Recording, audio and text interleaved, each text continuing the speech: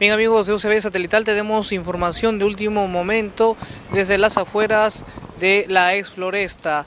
Eh, se corre el rumor de que habría habido movimiento dentro de ese lugar, pero ha sido, según informó el coronel González, esto ha sido aplacado por la policía. Escuchemos la entrevista del coronel González.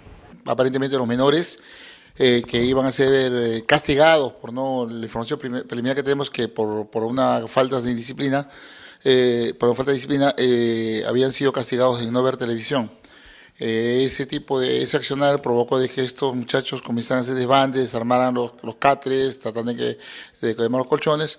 La policía ha intervenido y ha logrado tranquilizar la zona y bueno, pues ya la, eh, la, autoridad administrativa, que en este caso es el director de, este centro de menores, eh, parece que va a tomar las acciones disciplinarias del caso. Bueno, para nadie es un secreto de que hay una sobrepoblación, pero tanto la autoridad administrativa hace lo que, lo que eh, tratar de que esto se me lleve de la mejor manera y está la policía para colaborar ante cualquier actitud de este tipo a fin de evitar de que se vaya a desencadenar en violencia y más aún pueda pues atentar contra la seguridad de esta ciudad, ¿no?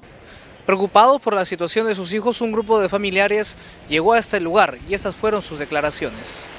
Sí, preocupados por lo que nos han avisado sobre los policías que han estado adentro, que les han golpeado a nuestros hijos del pabellón 2A y 2B. Y no es justo que les estén pegando como si fueran animales porque nosotros nos revisan adentro todo, cuando ingresamos nos revisan todo y nosotros no ingresamos ni celulares ni droga como dicen ahí. Bien preocupados este por nuestro adentro está mi sobrino, ¿no?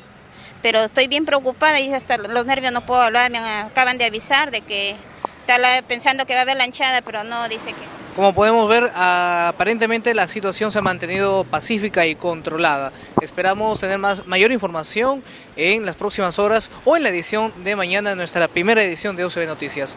Con las imágenes de Johan Castillo, informó Johan Florian para UCB Noticias. Información a tu alcance. Adelante, estudios.